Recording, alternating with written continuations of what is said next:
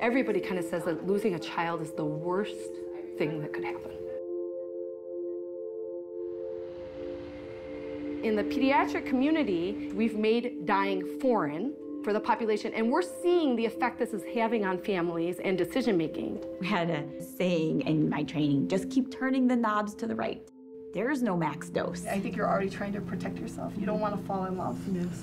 and the more you fall in love, the more it'll hurt. It's supposed to be inducible labor at six. Just trying to be prayerful.